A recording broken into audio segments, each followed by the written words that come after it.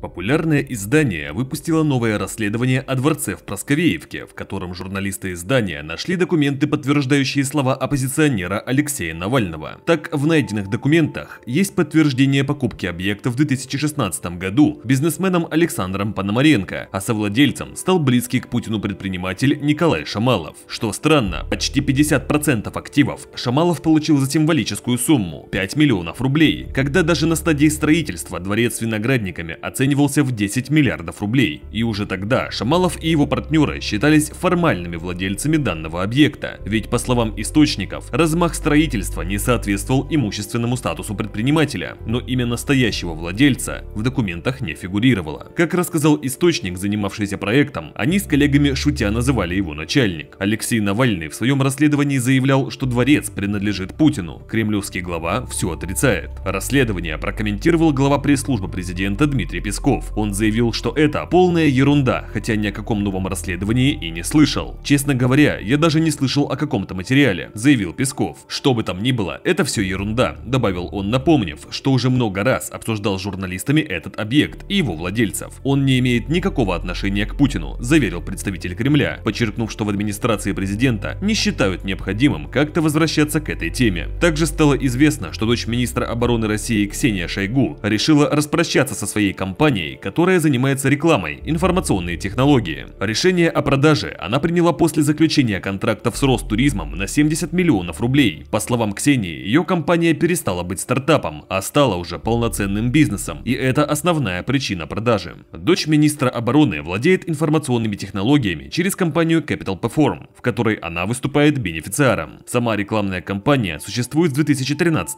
года. Свое приобретение в 2018 году Шойгу объяснила венчурным венчурной ориентации своего бизнеса, Capital Perform готовит приобретенные активы к продаже. Итак, до 2019 года информационные технологии была убыточной компанией, но после налаживания контактов с Ростуризмом ее бизнес пошел в гору. Например, в прошлом году выручка компании составила 222 миллиона рублей, из них чистая прибыль 16 миллионов рублей.